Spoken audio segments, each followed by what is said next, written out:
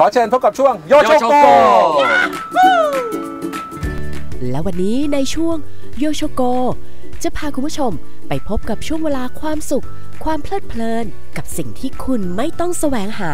โดยคุณโยและเฮียโช จะพาออกไปตะลุยชิม shop chill ในแบบที่คุณต้องประทับใจ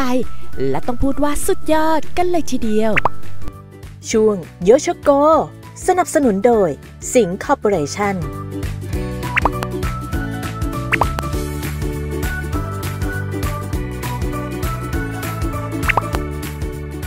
ไปฮะคุณผู้ชมฮะเมื่อกี้นี้เรากินกันเสร็จแล้วเป็ดเรียบร้อยสอลุงโรดนะฮะครับผม เจ้านี้ของเขาดีจริง ๆ ครับ ก็จะได้เพื่อนเนี่ยนะฮะเพื่อนเป็ด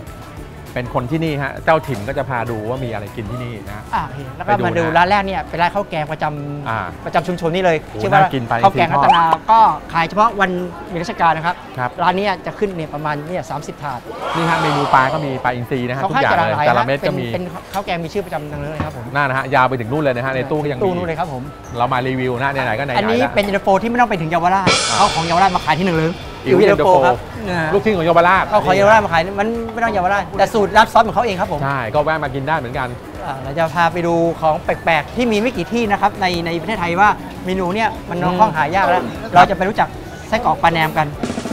จริงๆ ชื่อนี้เคยได้ยินนะอะก่อนเราขอแพทนิดนึงครับผมอ่าเดินฮะเลยเดี๋ยวมาก่อนแวะอ่านี่มาดูอัสาคูอะไรเจ้านี้ดีกว่าอ่า อันนี้สาคูไทยแท้เลยครับแต่คครันบทำเป็นเหนือไม่ต้องใส่กระเทียมไหมคะไม่ใส่ครับชิมนี่นะฮะหมูค่ะมีทั้งหมูโอ้โดูปนะลาเงาวับกุ้งเลยนะฮะนี่นะฮะาอันนี้มีมีปลาอืมปลาหน่อย ชิมเลยค่ะอืมอร่อยอร่อยนี่ฮะอ่าปลาคูไส้หมู อ่าแม่ซิงครับแม่สายอิงเจ้าเก่าดั้งเดิมนะฮะโหนี่คนเยอะนะมาดูนี่เลยครับนี่ก็คือไส้กรอกปลาแหนม ไส้กรอกปลาแหนมนะฮะจะมีไส้กรอกข้าวไส้กรอกหมู อืม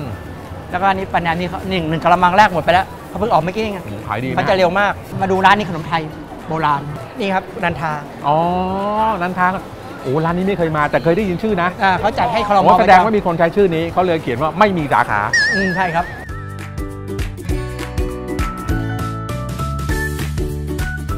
ก็ต้องขอบคุณนะฮะวันนี้เพื่อนเป็ดนะฮะที่เปิดร้านมาที่นั่งนี่คุยเรื่องโมนี่เดครับลเพื่อนโย